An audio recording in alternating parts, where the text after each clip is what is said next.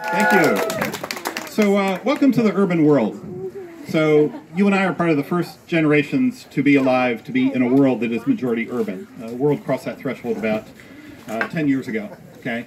And the urban world is a world of diversity and competition, but it's also a world of inequality, okay? So, all sorts of measures of this. Uh, eight people in the world own more uh, uh, assets uh, than you know, they have 50% of the world's population. So extraordinary inequality. So cities bring together all the best and the worst, okay?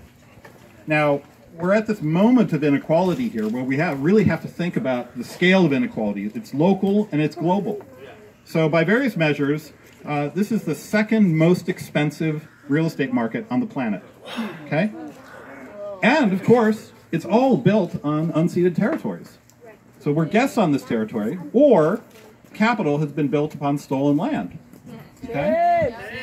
Number two in the world, okay, built upon stolen land.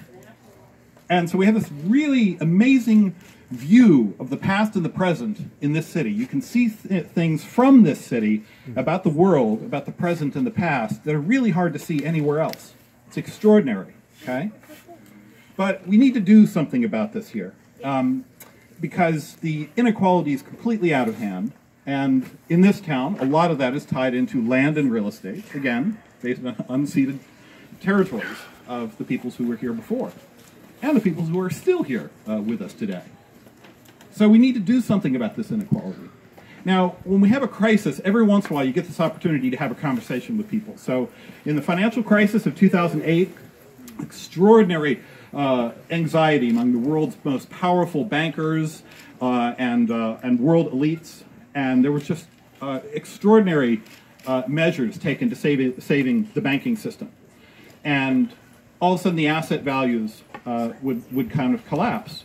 And stock markets would collapse. Real estate portfolios would start to, start to tumble. Not much in this city, but in a lot of other cities.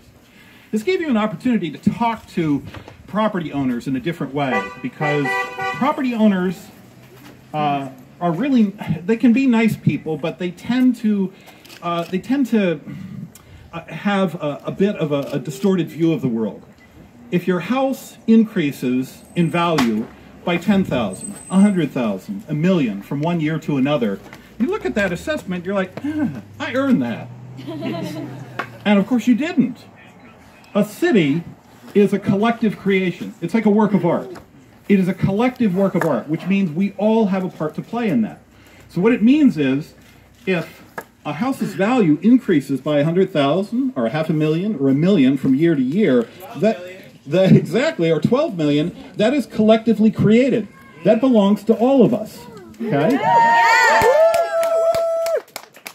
So, like I said, uh, wealthy property owners can be very nice people, but they need to be reminded that they, just like poor people, live in social housing.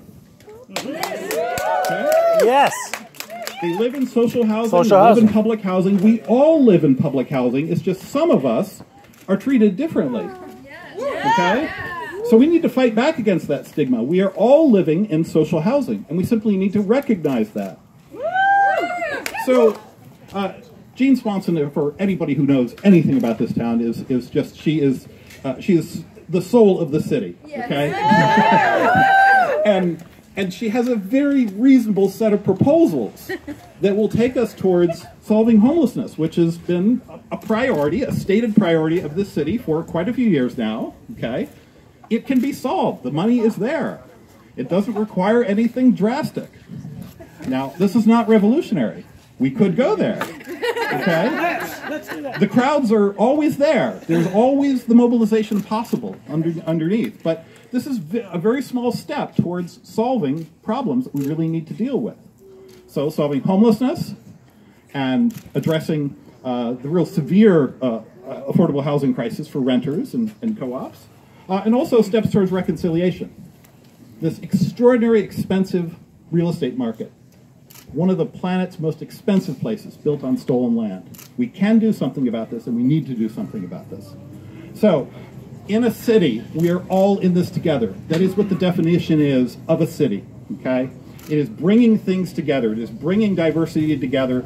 It is bringing uh, learning and innovation together, but it's also bringing inequality together. So it's time for us to address that inequality. A city is for all of the people. Yes. A city is a work of art. It is a collective work of art, and we all need to work on that tapestry, on that, on that canvas. All of us need to, to be artists in the city, and we all need to participate in this, and all of us need to play our role. And the wealthiest property owners in this city need to do a little bit more. That's all we're asking for. So a city for its citizens, the city for all, the city for all. Thank you.